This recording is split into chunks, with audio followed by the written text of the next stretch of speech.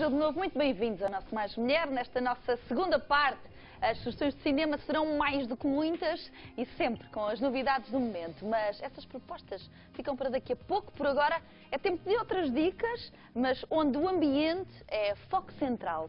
Seguimos então para a rubrica Eco Alerta com Vanessa da Trindade. Olá, Vanessa. Olá, Ana Bem-vinda. Obrigada.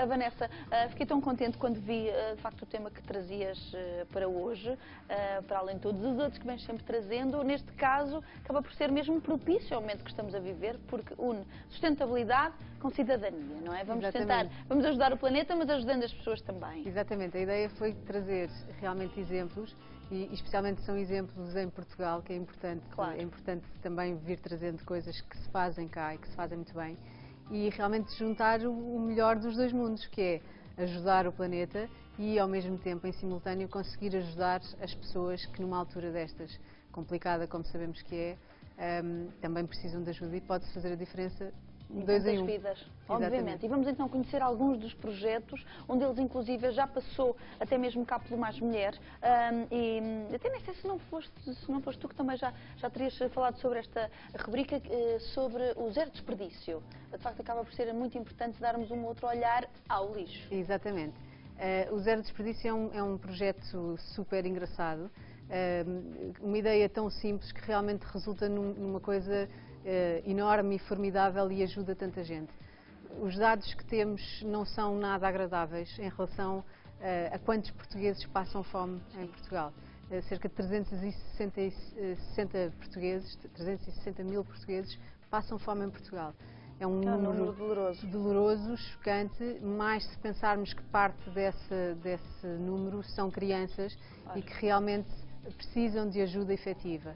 Por outro lado, eh, há estudos que indicam que cerca de 75 mil refeições são desperdiçadas todos os dias, diariamente, Uhum. eh, de norte a sul do país. Portanto, eh, foi na junção destas duas informações que nasce o projeto Zero Desperdício, um, sob o lema, um lema engraçadíssimo que é eh, Portugal não se pode dar ao lixo e realmente junta aqui o melhor de dois mundos. Portanto, permite que se reaproveite bens alimentares eh, vindos de restaurantes, Claro. refeições que não foram Que servidas, de outra maneira iriam, iriam efetivamente para o lixo, exatamente.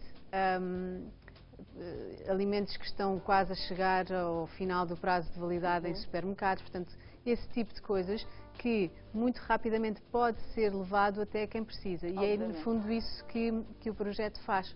Claro.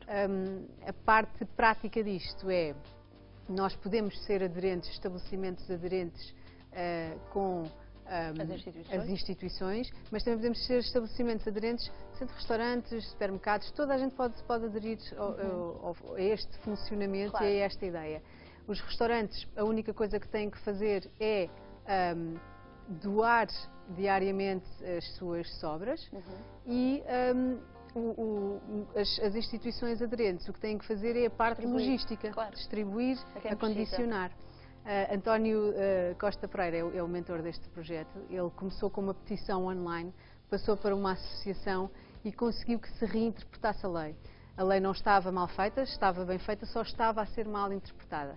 E conseguiu trazer para o movimento um, o maior, eh, aquele que poderia ser o seu maior obstáculo, que foi a ASAI.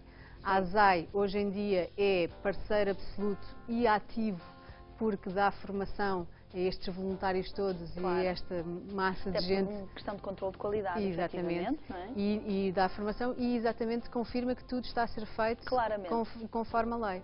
Portanto, temos aqui um projeto, uma coisa muito simples que, eh, eh, que não custa dinheiro a ninguém, na verdade, e que consegue ajuda ajudar uma data pessoas. de gente. Exatamente. Muda realmente. Tem a chancela da, da Presidência da República, portanto, a importância que este projeto está a ganhar eh, também se observa aqui. Claro. Tem a chancela da Fundação PT e realmente conseguimos aqui ehm, fazer a diferença com coisas tão simples como, como simplesmente estender a mão e dar de um lado e estender a mão e receber do outro. Claramente.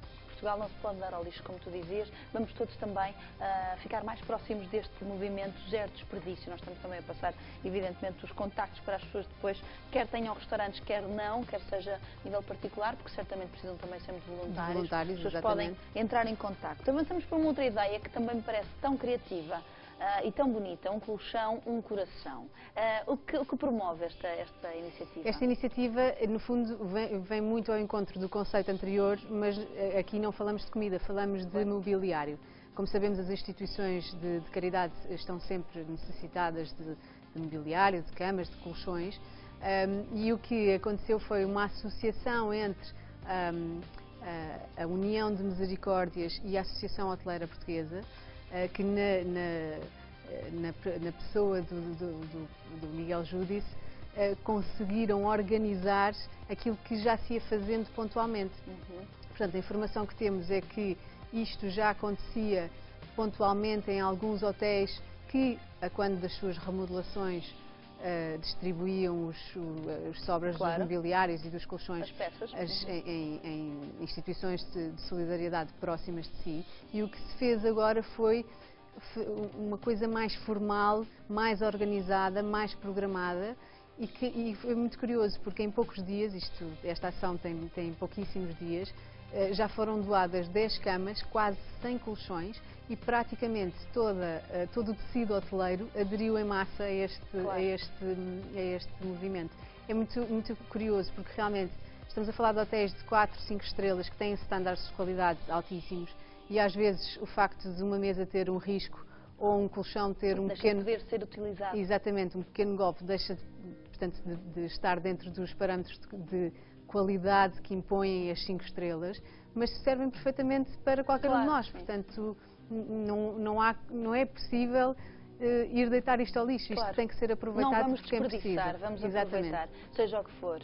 Seja estarmos a falar de facto de, de bens alimentares que podem ainda ser uh, usados, uh, quer seja bens de mobiliário ou outro tipo de peças Exatamente. ou acessórios, não é? Neste caso, a iniciativa vai até um bocadinho mais além. Estão a ser feitos hum. os preparativos que são coisas muito simples, os preparativos para que, para além do mobiliário, uhum. dos, do mobiliário grande e dos, dos colchões, seja também atribuído uh, portanto, atoalhados, uh, os jogos de cama, Sim. copos, pratos, uh, para quem precisa, portanto, e para quem não tem forma de, de comprar e que precisa. Muito bem, um outro projeto fabuloso também para acompanharmos bem, bem de perto, com o nosso coração sempre a bater muito. Também o nosso coração bate pelo projeto Remix é verdade. conhecer uh, mais profundamente. Uh, acaba por ser um projeto criado pela Câmara Municipal de Lisboa e que também uh, nos inspira para outros projetos semelhantes, não é? Sim, o, o projeto Remix, já tínhamos falado nele aqui no uhum. Natal, porque na altura trouxe um exemplo de prenda que nasceu deste, deste projeto. Um, e realmente a Câmara Municipal de Lisboa, juntamente com a Junta de Freguesia de Marvila e com associações culturais locais, está a desenvolver uh, um projeto realmente fabuloso e une, une vários conceitos que são realmente deliciosos. São várias pois, parcerias, não é? Com várias, com várias dinâmicas. Temos, por exemplo, ecodesign, não é? O ecodesign é, é realmente espantoso, porque uh, basicamente este grupo de pessoas, esta parte da comunidade, requalifica edifícios e casas de pessoas que não, não podem fazer essas obras e não Sim. têm como, sejam casas particulares, sejam espaços comunitários e a partir dessas obras, que, algumas coisas que sobram, eles, eles fazem peças de design, que são realmente peças de design, que estão à venda neste momento já numa série de lojas. Aliás, o diretório das lojas pode ser consultado no, no próprio site. Sim. E, e é realmente curioso porque a partir destes, deste, da comercialização destes objetos, que inclusivamente estão à venda na, na, na loja da Fundação Serralves, uhum. consegue-se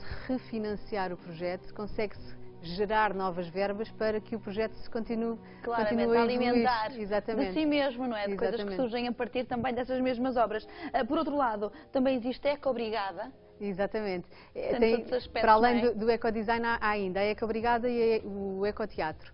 A Ecobrigada é grupo, um grupo de jovens que vai percorrendo o bairro certificando-se que o bairro está, está, está absolutamente limpo e vai fazendo ações de formação junto da comunidade e com as gerações mais velhas e vai incutindo este espírito de, de cidadão mais, eh, mais, mais ativo, pesado mais pelo, pelo planeta. E por outro lado, o ecoteatro são peças de teatro feitas em equipamento uh, comunitário, chamam todo o bairro e toda a comunidade uh, para fazer peças de teatro de Com sensibilização. Claro, Exatamente. Uh, para passarmos a mensagem perfeita e que as pessoas devem mesmo ter em conta nesta sustentabilidade e cidadania. Muito obrigada, Vanessa, por Nada, trazer estes Rita. projetos.